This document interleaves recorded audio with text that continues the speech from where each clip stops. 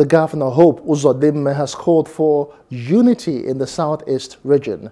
Speaking during the Southeast Women Rally for the presidential candidate of the All Progressives Congress, Bola Tinubu, the governor emphasized that a united Nigeria will accommodate the population of Ndigbo. What I come to tell you is no different from what I've been telling you all these days. We have decided that we are better off being in a united Nigeria A united Nigeria will only accommodate the population of Ndigbo. The geographical space in the southeast is not enough to accommodate us.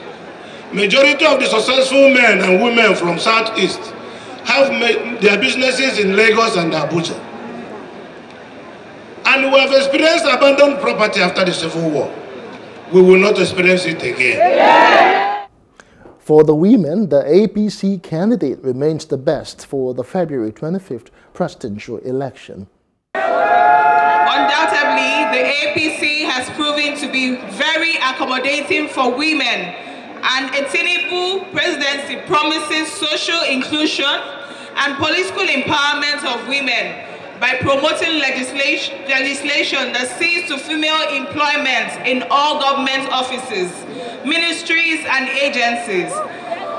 The goal is to increase women's participation in government to at least 35% of all governmental positions. What we are seeing today, people will deceive us. But without, there are people who don't even see the future.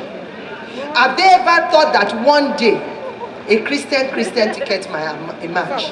What would be the reference point? We have tried Muslim Christian severally. Every time we are always complaining. And let's try this one too now. Let's try it and see. Shebi is four years. After four years, if you are not like her, you vote them out.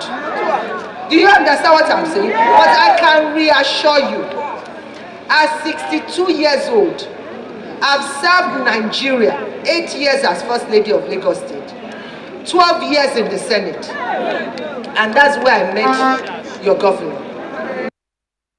Hello. Hope you enjoyed the news. Please do subscribe to our YouTube channel and don't forget to hit the notification button so you get notified about fresh news updates.